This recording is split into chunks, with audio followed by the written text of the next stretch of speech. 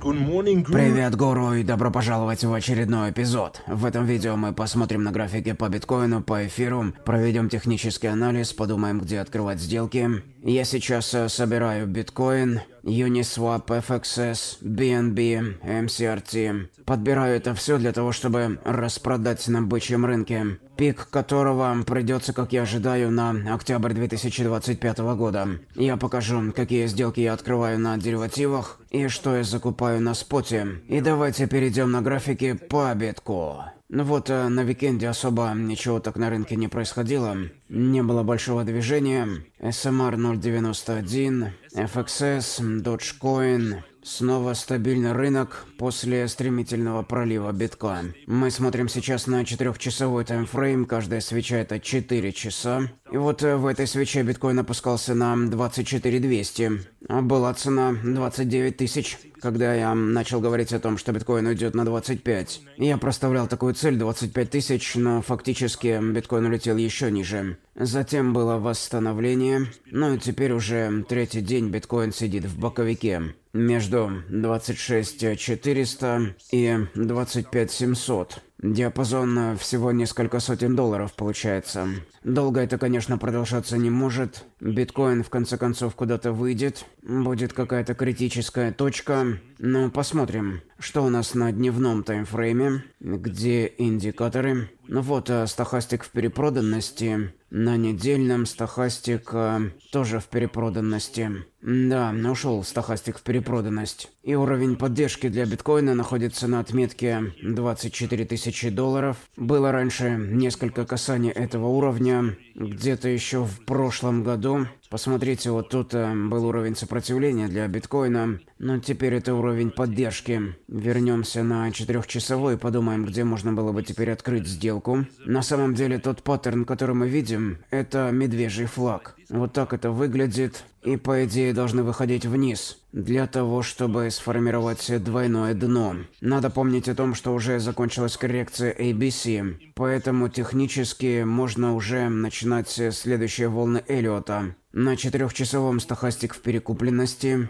на часовом стахастик в средней зоне, направлен вниз. Мне все-таки кажется, что биткоин снова пойдет вниз на 24 тысячи долларов. Но я пока что стою в лонге. И что с этим делать? Было много ликвидаций на этом проливе, и вроде как должна уже начаться восстановление биткоина, но мы его что-то не видим. Нет уверенного роста битка, поэтому, мне кажется, хороший момент для входа в биткоин находится на отметке 24 тысячи, 24 171, если точнее. Стоп-лосс мы ставим на 23 720 и profit на 31 714 долларов. Соотношение риск-прибыль 16.73, риска 451 доллар заработать можно 7543 доллара. Это если торговать без плеча. С десятым плечом вы заработаете 75 400 долларов. Можно было бы, конечно, и пошортить до 24 тысяч, но я не уверен. В целом, конечно, вероятность такая, что биткоин выйдет вниз из этого треугольника,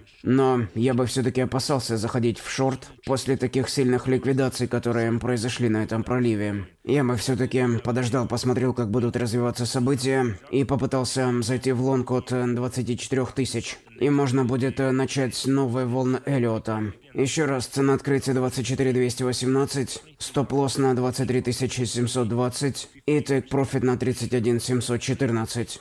Если вы хотите торговать вместе со мной, то под видео есть полезные ссылки. Один, проходите мои курсы по криптотрейдингу, учитесь техническому анализу. Если вы постоянно теряете деньги в трейдинге, Проходите мои курсы, и вы начнете зарабатывать. Два. Регистрируйтесь на Бабит по моей ссылке, получайте бонус до 30 тысяч долларов. Выполните для этого все необходимые условия. И ссылка номер три. Присоединяйтесь к моему бесплатному телеграмму. Там уже около 9 тысяч трейдеров. Все полезные ссылки в описании под видео. Один, два, три. Ну и теперь давайте посмотрим на Эфириум. 1862 текущая цена. Тоже на выходных особо не было никаких изменений. И важно заметить то, что и биткоин, и эфириум пробили годовую трендовую линию. Эфириум подошел к важному уровню поддержки, но еще один уровень поддержки для эфира находится ниже. на отметке 1300 долларов. Поэтому я считаю, что эфириум может пролиться еще ниже. Опять же, я думаю, что эфириум здесь э, нарисует двойное дно и затем развернется. Поэтому здесь я тоже поставил бы ордер в лонг в расчете на отскок к этому уровню сопротивления. Опять же, не заходил бы в шорт. Слишком рискованно после таких больших ликвидаций. Вот такая торговая идея. Соотношение риск-прибыль 11.75. Цена входа 1467, стоп-лосс на 1436, тейк-профит на 1840 долларов. 25% прибыли можно получить по этой сделке, с десятым плечом 250%. И теперь посмотрим на общую капитализацию рынка. Остаемся пока что выше отметки в 1 триллион долларов, но здесь тоже пробита годовая трендовая линия, ушли под нее вниз. На всех графиках такое.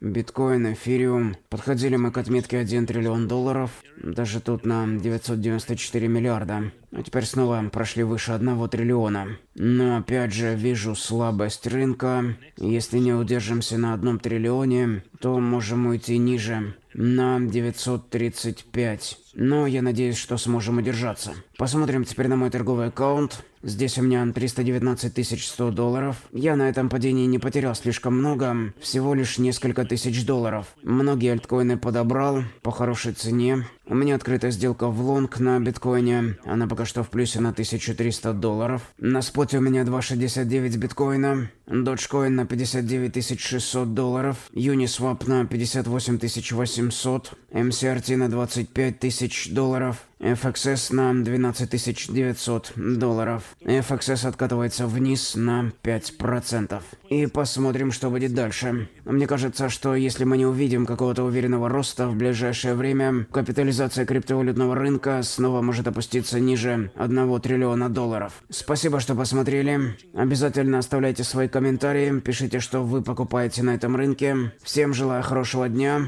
и увидимся завтра.